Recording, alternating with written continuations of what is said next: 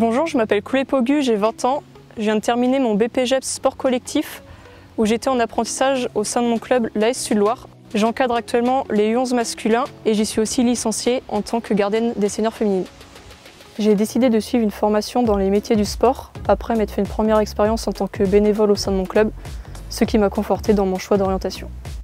Mon BPGEPS sport collectif m'a permis de développer mes compétences, mais aussi de passer du statut de bénévole au statut de salarié. Je ne compte pas m'arrêter là puisque j'entame une formation BMF au sein de la Ligue de football des Pays de la Loire. Dans un avenir proche, je me vois toujours comme euh, éducatrice sportive dans le football, tout en continuant de développer mes compétences professionnelles.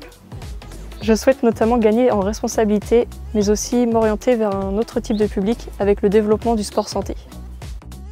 En tant qu'éducatrice sportive, je ne rencontre pas forcément de difficultés dans mon travail au quotidien. Je ne pense pas que ce soit le genre qui apporte tant, mais plutôt la personnalité qui prime. J'ai d'ailleurs une anecdote euh, qui revient assez régulièrement. Quand j'accompagne euh, mes jeunes U11 euh, lors des compétitions, on m'identifie souvent comme une simple accompagnatrice alors que je suis la responsable de l'équipe. Si j'avais un conseil à donner aux jeunes femmes qui nous regardent, c'est surtout de ne pas avoir peur de se lancer, mais aussi de ne pas avoir peur du regard des autres, des parents qui peuvent être autour des terrains, du fait de son genre ou de son jeune âge.